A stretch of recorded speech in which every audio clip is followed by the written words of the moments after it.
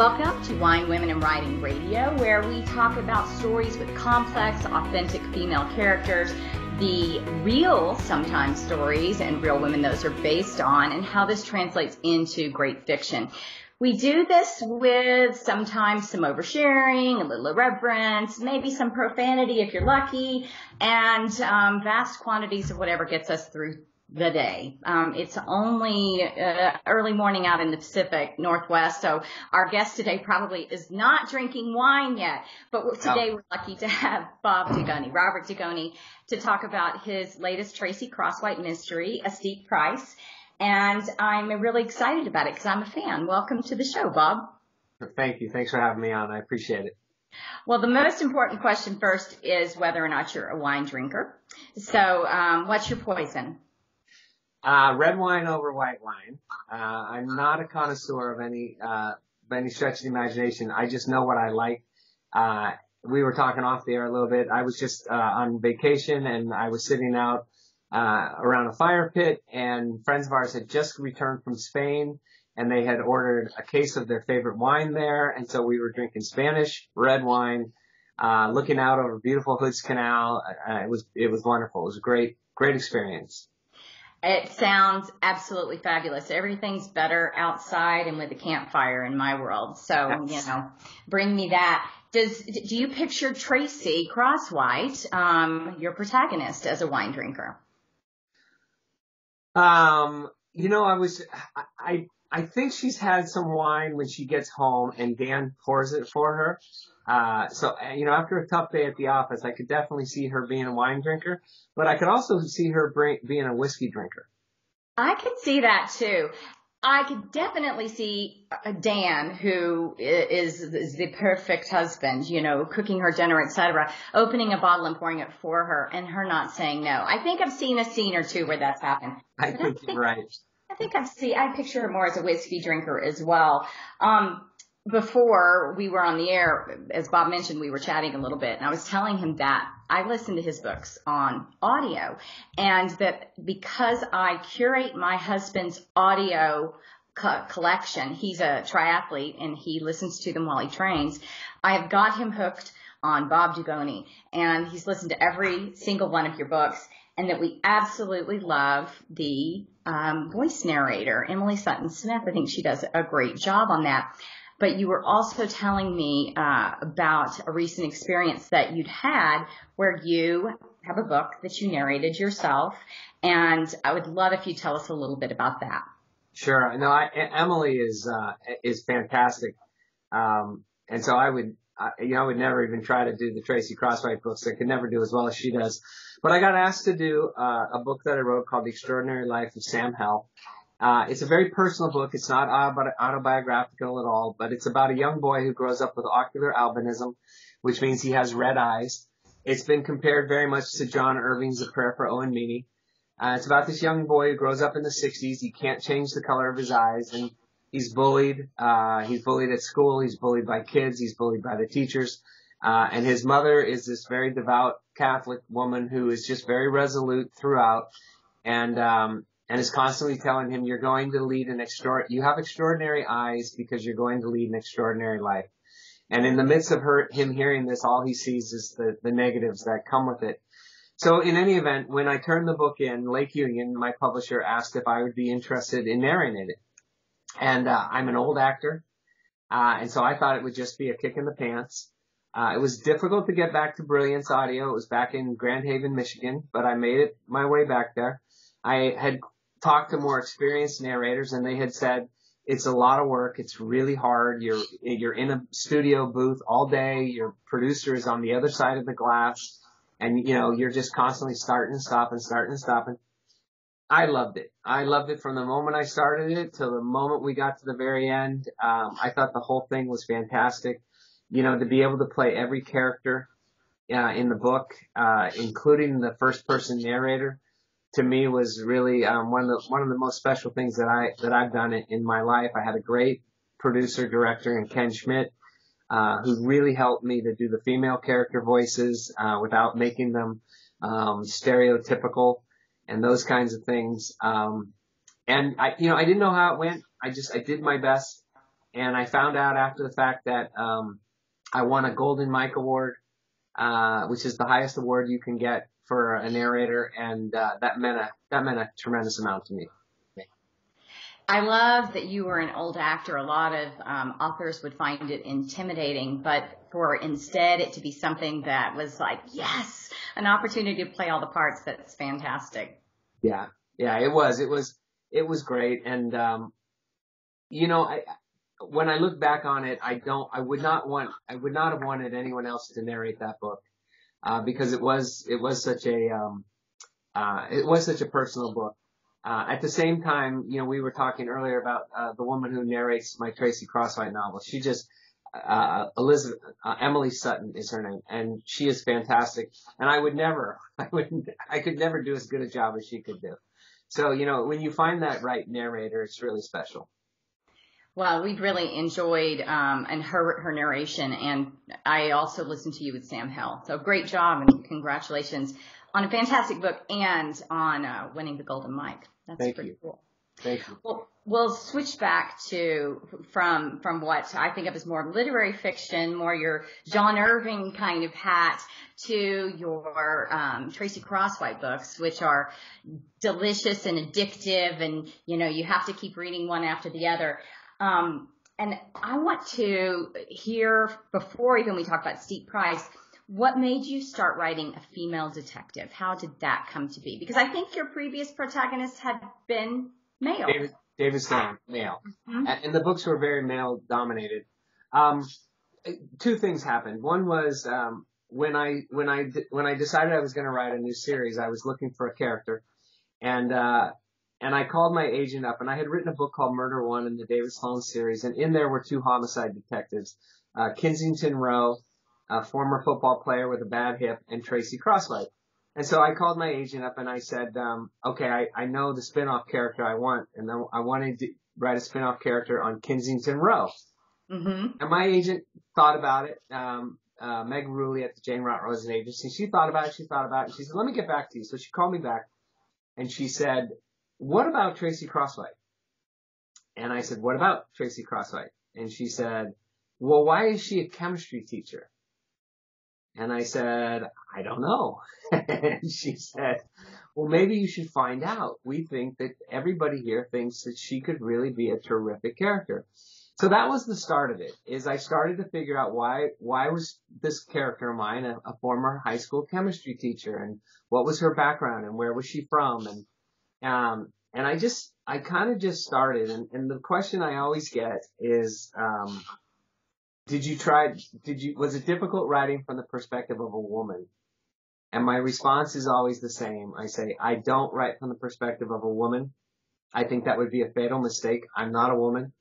I would be, you know, I would not be able to do it. I have a lot of women in my life. I have four sisters. I have a professional mom. I have a professional wife. I work, worked with a lot of professional women. So I have a lot of women that can help me. Um, but really what I tried to do is I tried to write from the perspective of a character who's been through a, a horrific uh, background background experience and she's trying to recover. And you know whether she's male or female, those circumstances really doesn't matter. She's a human being who's um, who's trying to create a life for herself after a after a horrific tragedy has stolen her sister. And one of the things I love about Tracy is I've read where men have tried to, to write from the perspective of a woman and comes off wooden. They're overly feminine in some ways or the mark is just missed in others. And Tracy's just, she's person. She's a real person with real issues. She is believable. She's based upon the sum of her parts and not on one characteristic, right? And, and yeah being female is just one of her many attributes. So I, I love that you did it that way. And it's funny that, um, that your agent prodded you a little bit to go in that direction because, you know, the, the chemistry thing is a fun and wonderful thing that comes in handy for storylines. And you had all those books with the great exploration of the horrific events that, that set her on the path that she's, right. she's on. So, I love it. Um, so with this particular book, A Steep Price, uh, was there any circumstances that stimulated this particular book, or did this one just come out of the fertile imagination of Bob Dugoni? Well, what um, what led us to a steep price? Um, it's actually it's actually a really interesting story. I was uh, traveling to the Bay Area to visit my mom, uh, and I take an Uber because my mom is older now and doesn't like to drive at the airport. And so I was taking an Uber uh, to get to her house, and the, the there was a young man driving, 21 years old, uh, and uh, we were chatting, and he had told me that he was newly married, and, and I was saying congratulations, and I said, did you know your wife for a long time? And he said, no, actually, I I uh, the, I met her about a week before we got married, and I married her on that day, and I I was stunned, and I, wasn't thinking arranged marriage, I was just thinking, holy cow, uh, love at first sight. And I said, wow, I said, that's really quick. And then he told me it was an arranged marriage. And I asked him, I said, were you, were you terrified to marry someone you hardly knew? And he told me he wasn't because his parents were, uh, the product of an arranged marriage. And then he started telling me other things like, um, the divorce rate among arranged marriages is actually much lower than in the United States, traditional marriages, et cetera, et cetera. And so when he dropped me off, I, uh, I went into my mother's office. She still works. She's 85. She's still an accountant. Uh, she's really amazing lady. And I found an empty computer terminal and I just started doing research. And I wanted to write a story that involved uh, Vic Fazzio, one of Tracy's partners. I had right. done a book that had Kensington Rowe in it um, a little more heavily. I had done the, the prior one. Uh, a Trapped Girl had um, uh, Del uh, Castigliano in it. So I wanted to, to tell a little bit about more who Faz was and his marriage. And his marriage was a blind date. You know, he, he met Vera on a blind date and they ended up getting married. So the stories just sort of started to mesh together. Yes. And, uh, but it really started with a cab drive. That's wonderful. I, I, um, Ubered to see my mother-in-law um, a week or two ago, and had a cab driver that was basically trying to uh, not cab driver, Uber driver that was trying to pitch me stories the whole time, but none of them stuck. So I really like yours. I want I want that Uber driver or something. um, so with this book, you've covered so much ground with Tracy already as far as what uh, what we might call women's issues, you know, things that um, particularly interest or about women, and, and that makes sense because Tracy's a girl. Um, so this one, you're stimulated into a new direction. You've got the arranged marriage. You've got uh, pregnancy at work in a male-dominated field. Um, you've got uh, women's health issues going on in it. You have um, a split between best friends. You've got a female antagonist. You really had it going on in this one with women's issues. Um, and I kind of want to break those down a little bit. You've already told the story about how the arranged marriage came to be and the blind date tying in with, with Vic and his wife Vera. But you also got pretty serious with, with Vic and Vera this time with her issue. And what made you go down the road of serious health issues here with those two. Did that just um, organically happen or? Yeah, no, my, you know, my, um, my mom's a breast cancer survivor. Mm-hmm. Uh, she got it when she was 60 years old. Um, she's a tough cookie, my mom. Uh, she would go and do her chemotherapy on Fridays and she'd go back to work on Monday. Uh, she's, a, she's a tough cookie. Uh, and then I have a, um, a cousin who lost his wife about 10, 12 years ago. Uh, wonderful, really Lisa, was wonderful, wonderful um, woman, and she died of breast cancer. Um, you know, breast cancer is a huge health issue in this country, and I had someone tell me one time that if if testicular cancer was as big a um, health issue as breast cancer, there'd be a cure for it. Yeah, and that that's pretty sad to think when you think of that, um, because there are uh, there it's it's really become much more prevalent. So um, I wanted to write a book in which uh, Faz, I mean Vera is Faz's life, and it's I, I hope it's apparent in the book that you know they are it's, it's Vera and Faz. They're not they're they are like one entity. Uh, their marriage is very strong, and and he loves her, and she's really his life. Uh, they have one child together. And uh, here in the middle of this horrific case that he's attempting, that he's the lead detective on, um, Vera discovers a lump in her breast and she discovers she has uh, uh, breast cancer, and she begins treatment. Um, and I, so I, you know, I, I like, I like my characters to have two lives, which we all do. I like them to have a professional life, and I like them to have a personal life. And personal lives are often complicated and difficult, uh, even amongst the most happily married or the most happily, uh, you know, together couples that you'll find. It's it, it's not easy, um, and and I didn't want it to be easy for for Faz. I wanted it to be difficult. And I think you did a beautiful job with that. I mean, it's the human condition, right? It's not, um, nobody promises us as, us easy. And, and I loved how it did bleed over and, and put so much pressure on him. You know, you, you beat him up pretty good in this one. I did. Fine. Yeah, poor Faz. I love him. I've loved him in all the books. So it was fun to get to spend a little bit more time with the two of them and their relationship and get a small glimpse into their son as well. Um, it is amazing the with with women's health issues and how so many of them breast cancer just being one there are only recently some of these enormous strides and, so much room left to go. It's still the great mystery and hopefully we'll keep seeing a lot of pressure on those to be solved. Um, so with the, with the other, um, big issue to me in the book was, of course, what, what Tracy is going through. Um, okay, so her age. She's pregnant in this book. How old yeah. is Tracy? I don't even remember. I think she's 42. So she's a mature pregnant woman for starters, which is challenging, and in a uh, workplace where it's not necessarily easy. No. It's easy anywhere to be pregnant. Um, but this one's been coming for a while. This this pregnancy. Um, I'm thinking we got a hint of it in in the last book. Um, but a lot of fun to be able to go through this. So with the respect to the pregnancy in the workplace, is this drawn on any real life experiences or was it just pushing and pulling on Tracy until you uh, found her in the place that she is? Um, it really arose out of the prior books and her prior relationship with her captain.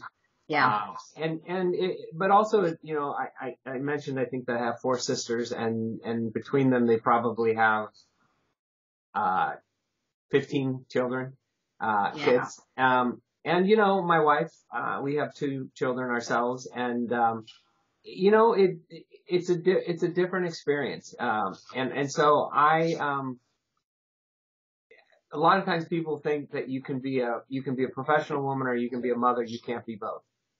Uh, and, but you can be both and it's really it's it's not it's not what the woman can do it's what society will accept and allow and right. i think we've become a lot a lot more progressive than uh, certainly in in years past but i think there's still um, i think there's still strides that can be made um, i laugh because uh, for instance the law firm where i still keep an office and write from is dog friendly and mm-hmm. i think mm-hmm. to myself I don't think I've ever heard of a workplace that was kid friendly.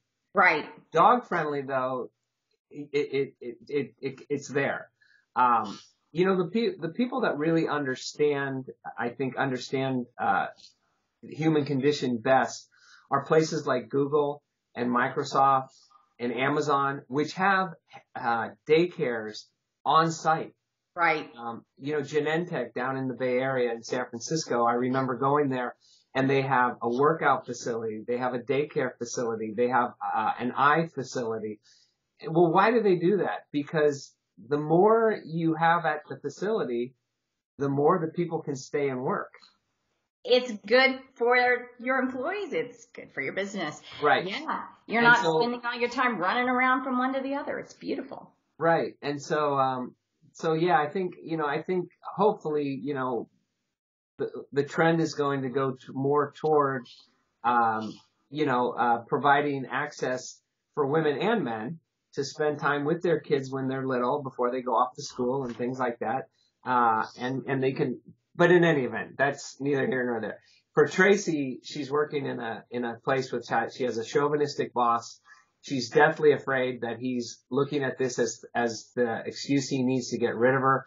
He has hired a woman uh, to work in the A team, and she's there to take Tracy's place. She's Hispanic, so Tracy fears that when she comes back, he'll say, "Hey, I hired a Hispanic female. You know, how, why? How can this possibly be, you know, sexist?" Uh, and so she's dealing with that while she's dealing with her job, while she's dealing with being pregnant, and all the things that come with that. Yeah, it's a nice pressure cooker for her. And it was fun because, you know, we have had this chauvinistic um, captain that's been a thorn in Tracy's side over and over.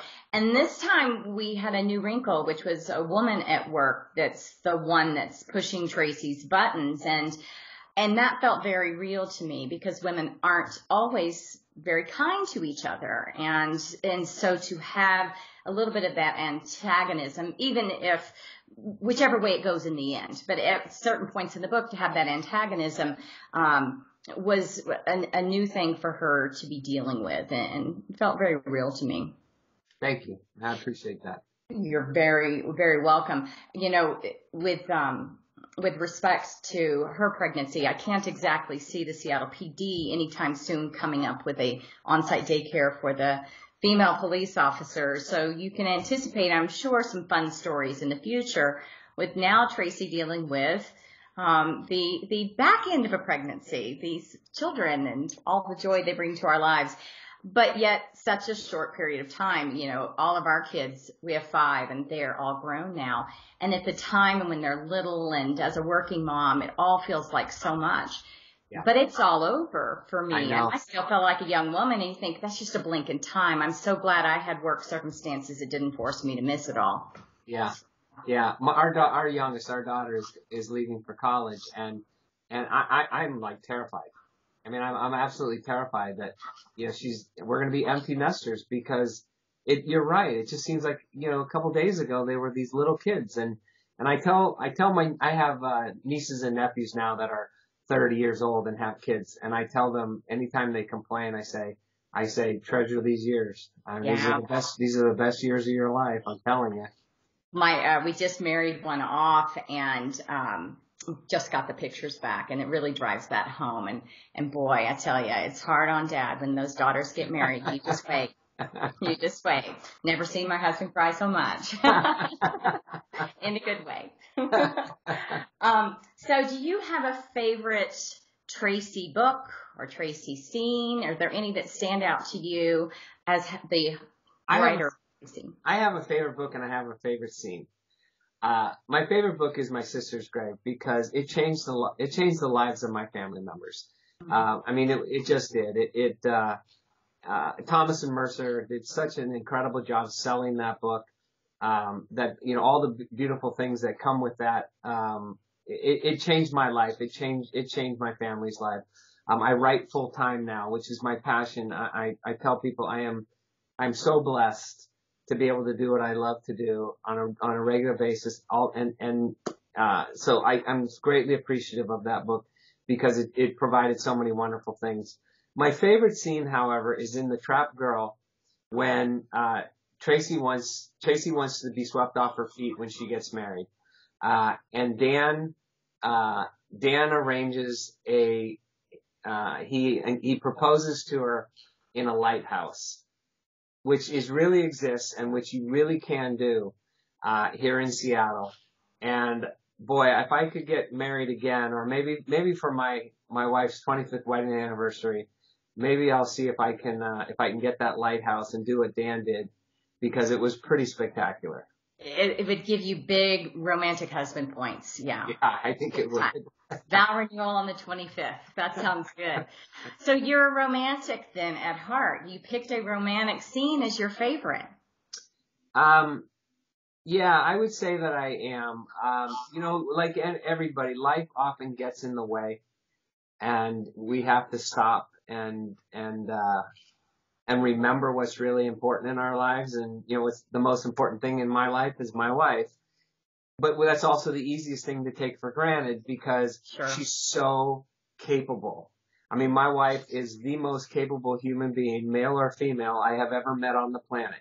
She can ride a horse. She can drive a tractor. She can uh, parallel park a, uh, a horse trailer, a boat trailer and yet she can then go inside and get dressed up and be the most beautiful woman at a party.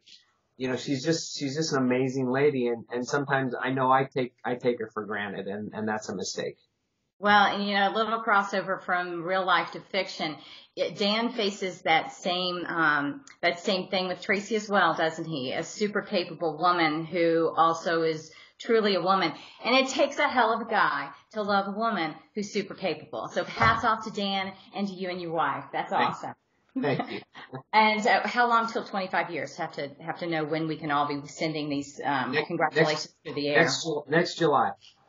Oh, that's super. Yeah. That is super. Um, so, okay, a lot of what you've been telling me is pulling from elements of real life for for your stories. How much of you do you put in your books? Is there ever a character that's sort of Bob? Um, I think you know the answer to that question. Uh, I think every every writer that that has some success will will say the same thing, which is every character there is some of Bob in there. Um, Yeah. I think if I was a woman, uh, you know, I would like to be Tracy Crosswhite. I'd like to be capable. I'd like to be working a job that I love to do, uh, and- but to be treated equally and fairly. Um, you know, I think I think if I make mistakes and I take you know someone for granted, uh, then I'm probably uh, Nolasco, you know, the her, her captain. Um, so you know that's the beauty of being a writer is uh, we were talking off the air a little bit, you know, and I'm a I'm a former actor, but the beauty of being a writer is you get to, there's a little bit of you in every character you write. Mm-hmm. Um, and sometimes that scares the heck out of your spouse who reads your books and goes, "Oh my God, where did you think of this horrible person?" You know. Uh, I just kind of looked in the mirror and one day, and But there I mean, that, that, that, that's that's the beauty of it. I mean, if, if you know all of my little idiosyncrasies, you know, I'm I'm claustrophobic, so if I want my character to really be in a terrifying situation, I would probably put her in a box, you know, and because I, I I would know what that that that feeling, that anxious feeling you get when you're when you're claustrophobic. Um, you know, all those little tiny things that uh, that make a character real. And you know, I teach writing to um, to other writers, and you know, I'll, I'll say to them, you know, what makes your character real? Because you, you want to create a character that's that's real but larger than life. You know, how do you do that? And they'll all say, well, you know, the the, the old standbys, right? The, the the detective who's an alcoholic, uh, the person who's suffering from this. And I say, what about the little things that makes us all human? You know, the, not being able to sit on the middle seat of an airplane because you're claustrophobic, uh, anxiety, Mhm. you know, uh, panic attacks. You know, I, I just had a conversation with someone who, this person is, I thought the most put together human being I'd, I'd ever met in my life. And, uh, you know, he revealed to me that he'd been off work for six months because he was having panic attacks. And, you know, it just makes Yeah. him so re, and this is a guy that I would, I would create a character out of this guy. I mean, he's just, he just com- comes across as this big, macho, wonderful, you know, guy who's got it all together. We, none of us has it all together. None of Yeah. us. Absolutely. And honestly, that's to me what makes um, for uh, great fiction is when you are able to find whatever it is that is the not the weakness, but the vulnerability of that character. So I love it. Absolutely love it. And yeah, it is hard. It's hard to keep Bob or Pamela out of these out of these books. And, and I don't know if it would be better if we could. So embrace it and go with it, right?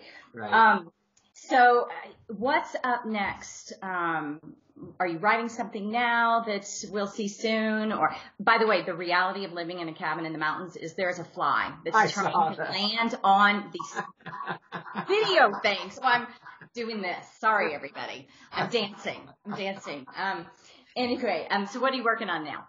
um, thanks for asking. I just, uh, I just finished the developmental edits on a, on an espionage book of all things. Um, so I'm, I'm, I'm going back to my original series and I'm taking a character from that series who's a former CIA agent, Charles Jenkins, ex-CIA agent living on an island here in the Pacific Northwest. And he gets pulled back into the CIA. He gets sent to Russia and everything he's been told is, is upside down. And he finds himself running for his life. So how did I, how did I come about with this story? Well, again, it wasn't a cab drive, but um, I had a guy that uh, was had got a hold of me several times and said, "I have a, a story for you. You might be interested in." I'm sure you've experienced this. Those are the people you definitely don't call back. exactly. But you know, there was something about the earnestness of this guy's story that I looked him up, you know, on Google and everything, and and um, he's was legitimate businessman, successful businessman, et cetera, et cetera. And so I decided, what can it hurt? I went to have coffee with him, and right before I left, the short of a very long story is there was an article written in the 1980s, way down on the uh, on the on Google, about a former uh, CIA agent accused of espionage uh, and was acquitted. And sure enough, it was this guy, and we talked, and I said, "Listen, I'm not gonna, I don't want to write your story." He said, "I don't want you to write my story. My story's already been written." But I just thought it would make an interesting premise, and Yeah. so, um, so I, I, I said, I, what I did is I wrote a, uh, a story that he helped, he helped me to write, but it's not his story, but he helped me to, um, uh, with the espionage, with the spy stuff. And oh, I, you that's wonderful. yeah, I didn't tell my agents that I had these contacts, and I actually, in the process of doing this, I met a second guy that worked for the CIA in Moscow in the 1970s. Um, and I, so I asked them to both read it. And so when my agents read the book, my agent called me up and she said, okay, uh, what is going on here? Do do you Do you have a secret life? you have a secret life? Is there something? And I, I started laughing. Um, and I was, it should, it was, it was the most fun I ever had writing a novel. Oh wow, that's great. Yeah. And such a different thing. I'm gonna look forward to that one. I I kind of um, grew up on like the Tom Clancy, you know, and all of those books. So it's a secret guilty pleasure of mine. It's a good espionage book. Um, and so with people that are wanting to be able to uh, catch you somewhere in public, do you have any events coming up or anything where you'll be appearing? Um, let's see. Uh, I'm actually going to Africa for three weeks. That's It's kind fun. of fun. But when I get back, uh, mid-September is the Pacific Northwest Writers Association Literary Conference. I'll be at that. Uh, I'll be doing a little teaching. I'll be doing speaking. Um, so that's, uh, that's in September. That is, uh, the 13th through the 16th. And then in, uh, October, I will be at the Surrey Writers Conference from, um, October 18th to October 23rd. And those are my next two things. And and that sounds fun. I've heard that's a great event. It's a great. They're both great conferences. Uh, Surrey is very Canadian, so uh, they're very, very friendly, wonderful people. Uh, PNWA, uh, I'm on the board there. The really good people put that conference on as well. Sounds like your peeps. It's your Yes. people. Definitely. Um, and with respect to people being able to find out more about your books, um, you've got a website. It is what is it? Um, is it just Robert? it's just robertdugoni.com. It's just all been redone. Uh, um, Thomas and Mercer and Amazon Publishing is just doing a big push. So they've helped my, my editor, my, uh, internet person redo the website. Uh, it looks beautiful. It has every, all the information anyone would need on there, including my newsletter, um, which is very limited. I don't spam people. It's just to kind of let them know when a new book's coming out. Awesome. And if you guys want to know how to spell Dugoni, it's right behind his head. there, under my sister's grade. D There it U is. O N I. Um, and I also wanted to tell you that I got a newsletter the other day and saw your name.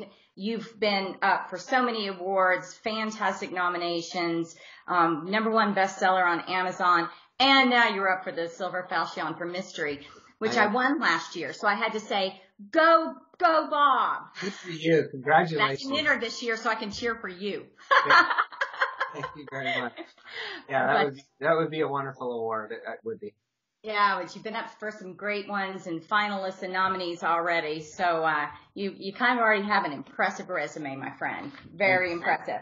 Well, I'm going to go ahead then and wrap this up with with Bob. Um, I want to thank everybody for listening and let you know that this is a copyrighted production of the Authors on the Air Global Radio Network because I would be lynched if I didn't do that by Pam Stack, our producer. And um, Bob, I want to thank you for being part of Wine Women in Writing. When I pitched it to you, I'm sure the name, you know, you're thinking, I'm not a woman. Why is this woman asking me to be on her show? But you're perfect for it. Your character's perfect for it. And sure you love it. Thank you. Thanks for having me on. I appreciate it.